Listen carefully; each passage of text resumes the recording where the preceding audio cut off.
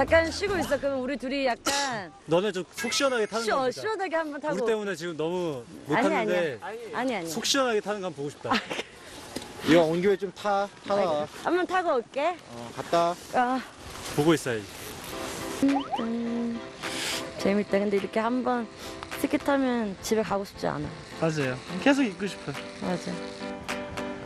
이번 효연 투어의 계기로 알게 되었지만 우리 뭐냐 시간 날고 할 때 이렇게 가끔씩 스키를 타러 다니자. 어 좋아요. 많은 약간 좀 스키를 즐기는 친구들의 모임을 만들어서 진짜 좋아요. 그치? 네. 우리 효연의 전말 라이크 한번 하자. 효연의 전말 라이크. 여기는 스키장. 예. 야, 나 너무 빨리 가면 안 돼. 네.